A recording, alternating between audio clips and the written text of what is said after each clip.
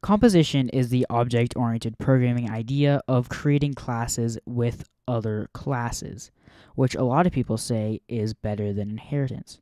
So, inheritance is where you have your class and another class inherits from it. And if you don't know about inheritance, I have a video on it specifically for Roblox, metatables, and modules, so you should go check that out. And inheritance does get the job done, but composition offers a lot more elegant solutions to most scenarios. And you can do everything you can with inheritance with composition, but composition has a lot more to offer. So composition, you have your like class and you have a bunch of components that this class can pick and choose from to be composed of. So this class is composed of other classes. And this is really, really useful, especially in game design. So in this video, I'll show you why composition is preferred over inheritance most of the time. And I'll give you a little example in GIMP with like just drawing some graphics. And I'll also go into Roblox Studio to give you a concrete code example. So let's get started. Let's say you want to make a vehicle simulator game. And you want to implement cars, planes, and potentially boats and you're thinking ahead. You're not just going to make a car class and just start from there. You want to make a nice design that allows you to expand and scale in the future. So you're going to have a base class named vehicle. And this example is going to use inheritance. Then we're going to move over to composition a little bit later. And this vehicle has a child class of car. So car is a vehicle. Now car has engine, seats, and wheels and that's all good. And then you want to make a plane. So a plane is a vehicle, but it shares a lot of stuff from the car, like the wheels, a little bit of wheels for the planes, like landing gear, and an engine and seats. But it also has wings. But a plane really isn't a car, so it'd look kind of weird to put that in the inheritance hierarchy. And then you move over and you want to make a boat. A boat has an engine, seats, no wheels, no wings, but it has a propeller for the engine. Now, already like right now you're using you're a lot of code in between these classes. And that's kind of a bad idea because with code reuse, what if you change the behavior of the wheels? You want them to change for everything, not just the car or not just the plane. And let's say your game gets super popular, your players want you to implement a boat car. So you have a boat car, and you may be asking, oh, why can't we just do a boat car as a car and a boat?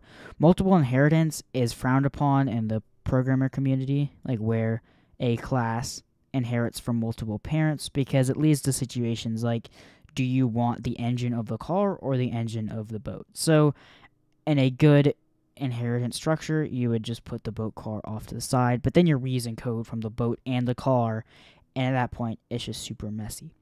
And this is where composition comes in. So you'll notice we've been using an is-a mentality. A car is a vehicle, a plane is a vehicle, a boat is a vehicle. Well, composition, it uses a has-a mentality. So if we were to have a bunch of components like an engine or seats and wheels and then a propeller and then finally like wings.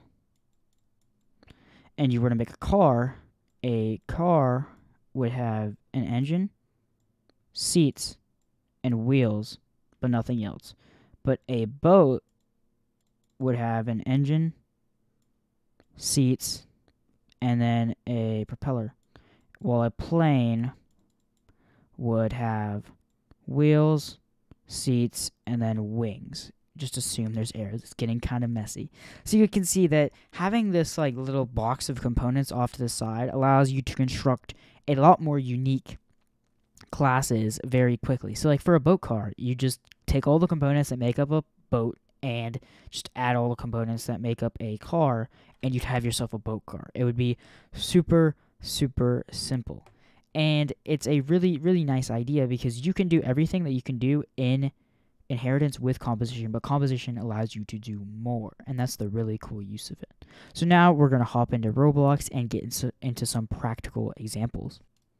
So let's implement the car from our theoretical example into actual code. So we're going to start with our car class. I'm going to be doing everything in server script service. So I'm going to create a module script and this will be our car. So let's do a basic class structure. So I'm going to set the car index equal to car, then do a function car.new, and then for now we're just going to return set meta table, a blank table, and car.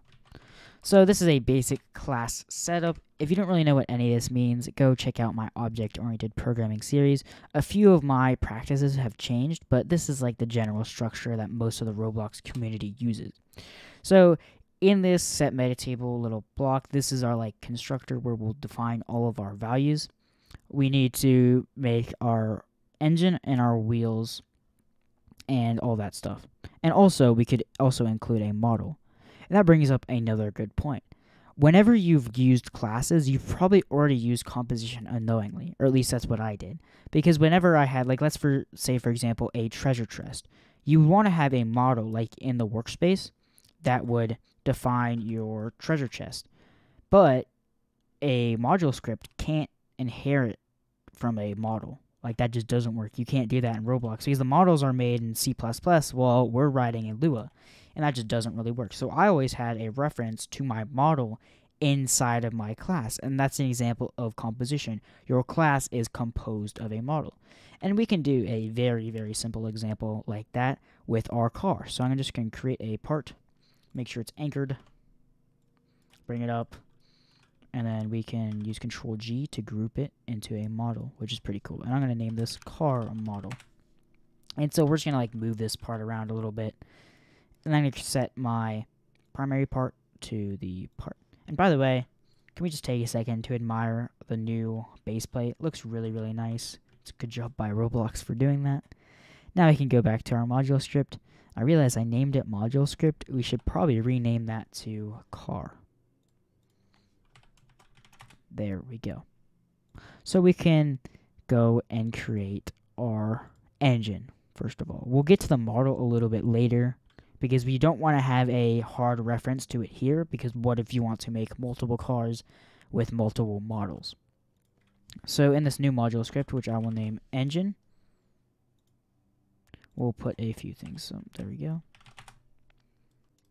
So I'm going to rename this module engine and then return engine. Say engine index equals engine. Then function engine.new. And we'll take in the speed at which we want the engine to run. Then we'll return set meta table, blank table, engine. So this is just saying create a new engine. Inside this, we can say the speed is equal to speed, comma, fuel is 100, and then is on, which will be a boolean, is false. So these are obviously just like placeholder values. We won't actually be implementing any of these features because that would lead to a very long video. It's just to show off the concepts. Now we're going to make a simple function, engine turn on.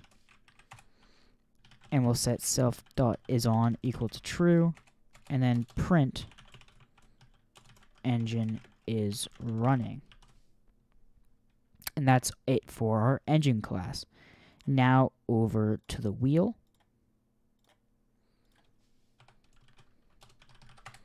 In our wheel, we want to, of course, do the same exact setup.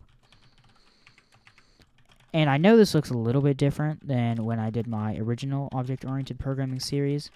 So I would recommend using this new updated version because it's the standard for most people. And honestly, it looks a little bit better. It's a little more readable. So just keep that in mind.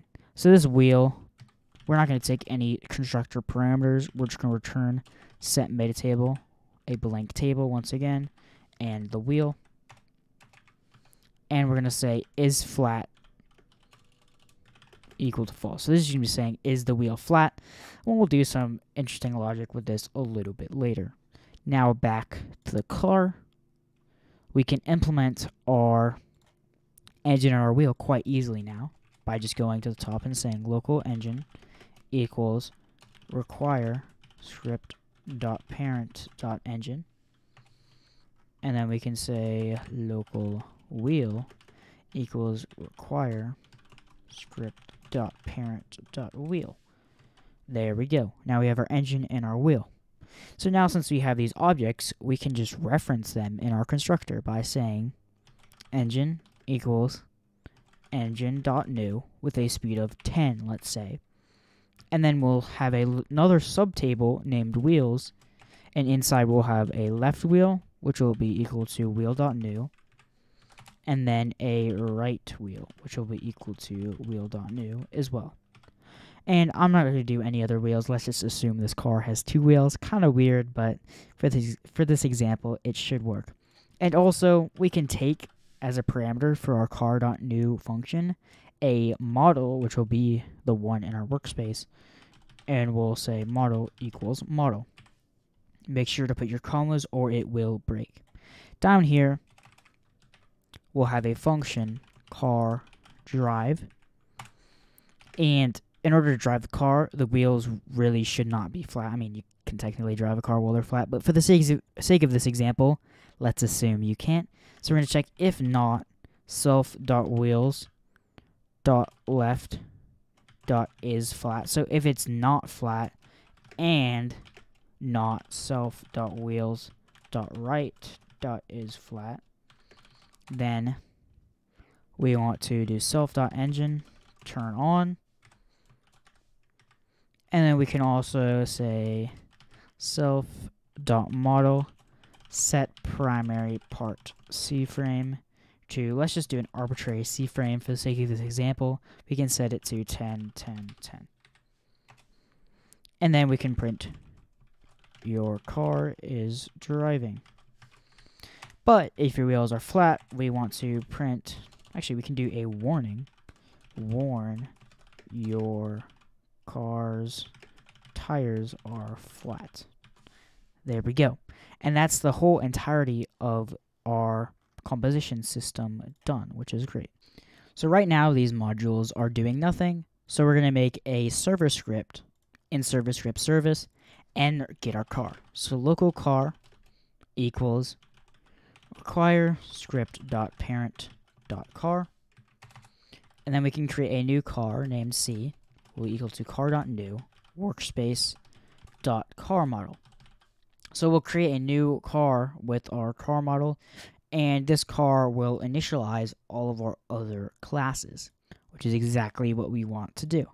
And then we can just say C drive. Let's just run this. And you can see engine is running, your car is driving. This did move, I believe. Yeah, it moved a little bit. You can see it moved over there, which is good. Good to know that our script is actually working. And if we were to go into our car and say C dot wheels dot left dot is flat equals true, so we let's say we like ran into a wall and we flattened our wheel, the car should not be able to drive and it'll say your car's tires are flat. And you notice we did this example with ease. Like we didn't have to do it. All we have to do is write an extra line for all of the components. So instead of just saying self turn on, we have to say self dot engine, and instead of saying self dot is flat, I, I guess that wouldn't really make sense in the first place. But instead of saying self dot is flat, you have to say self dot wheels is flat. Now that's only like four or five more characters, but this gives you a central hub of components that you can create a plane, a boat, a ton of different vehicles with ease using the same exact structure. And in, in my opinion, this kind of style of co- composition is the most elegant. In Roblox and in Lua, it's so flexible, you could implement multiple inheritance. I tried that. I ran into a lot of issues, but it's technically possible. You could also compose a class by assigning each value inside the class. So like you have this table.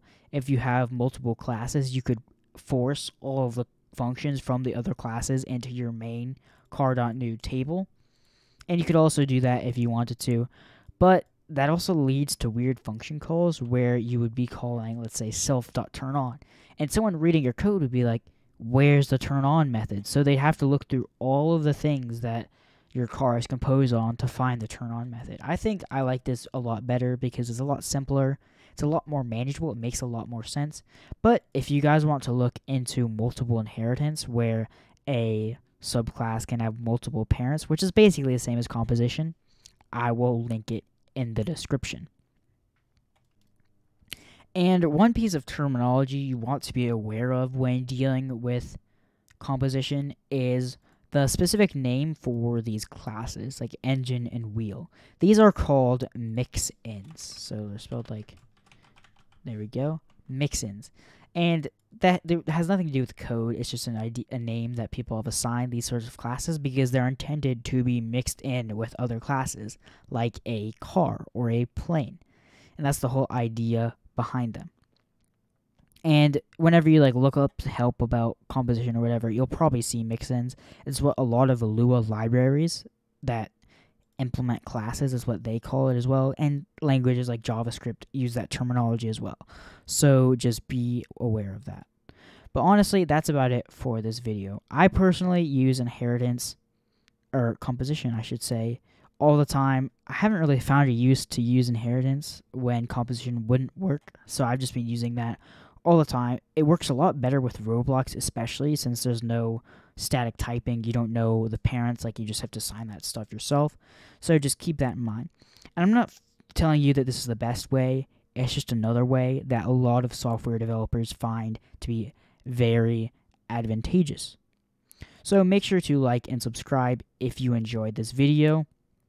And if you want to see more videos about topics like these, make sure to comment down below especially if you want to see like the uh, nuances of my new like style structure with my classes. But other than that, I hope you guys have a nice day and goodbye.